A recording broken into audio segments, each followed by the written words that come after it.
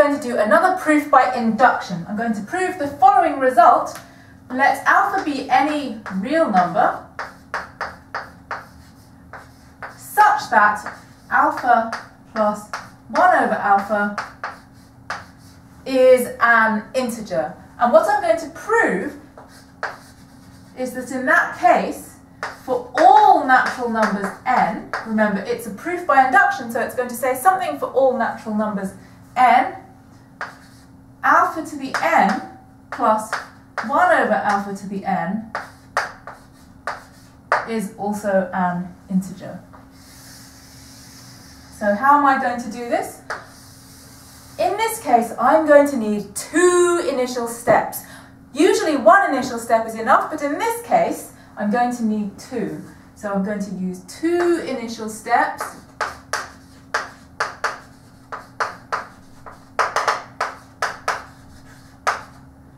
First of all, when n equals 1, well, when n equals 1, it's just the given result. But this is true, right? The result is given. When n equals 2, what do we need to show? We need to show that alpha squared plus 1 over alpha squared is an integer. Alpha stays fixed during all of this. Don't try and make alpha go up as natural numbers. Alpha is a fixed real number. A fixed real number. So this is what we need to show. Now let's see. Can we somehow use the thing that we know to get the thing that we want to show? Well, what happens if we square that? Let's just try alpha plus 1 over alpha squared. Well, that equals alpha squared plus 1 over alpha squared plus 2. So the thing that we want is alpha squared plus 1 over alpha squared. So let's get that by itself on one side. That's the same as alpha plus 1 over alpha squared minus 2. But we know that alpha plus 1 over alpha is an integer, so when we square it, it's still an integer. And we know that minus 2 is an integer, so when we take the whole thing, we get an integer.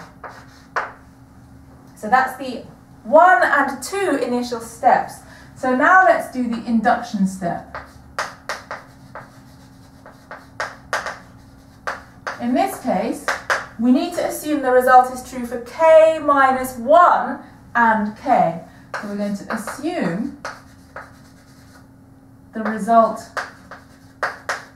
is true for n equals k minus 1, i.e. alpha to the k minus 1 plus 1 over alpha to the k minus 1 is an integer, and n equals k, i.e. that alpha to the k plus 1 over alpha to the k is also an integer. Now, what we want to show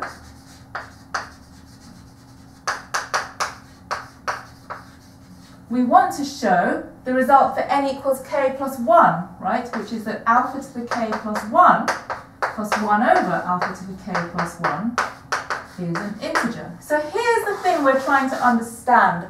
How can we understand it in terms of the things we already know?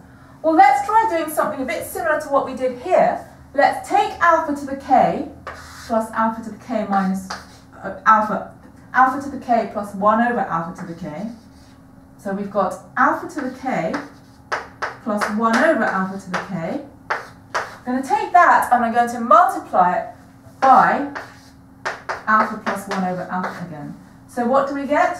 We get alpha to the k plus 1 plus 1 over alpha the k plus 1 plus cross terms. So we've got alpha to the k over alpha and alpha over alpha to the k.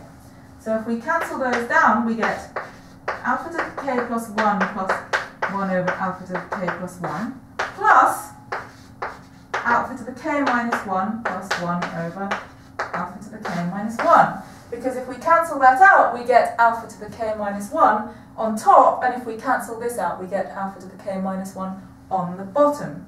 So now look what we've got. This is the result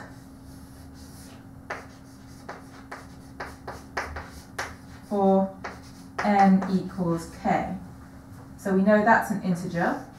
This we know about from the result for n equals 1. Is the thing that we want to understand. This is the n equals k plus 1 thing. And this is the result for n equals k minus 1. So what do we know? Well, we know that this is an integer because we've assumed it's an integer here. So that gives us that part. We know that this is an integer because that was the n equals 1 case. So that gives us this part. We know that this is an integer because we assumed the k minus 1 case. So everything here is an integer, apart from that we don't know about this, and that's the one we're trying to understand. So hooray, we can conclude that this one has to be an integer. So alpha to the k plus 1 plus 1 over alpha to the k plus 1 has to be an integer, i.e. the result is true for n equals k plus 1. And then we finish off, because we've done the initial step and we've done the induction step, so we conclude by saying, so by the principle of induction, the result is true for all natural numbers n.